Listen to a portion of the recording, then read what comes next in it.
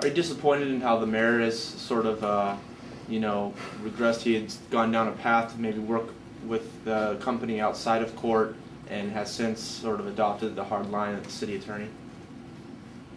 Good question, uh, Evan. Uh, Sunroad is disappointed that the mayor appears to have been intimidated by Mr. We're disappointed in the mayor's um, reaction and how he's been handling this um, after uh, City Attorney Michael Aguirre has been, you said, um, somewhat attacking Sunroad. You said you were disappointed at the mayor.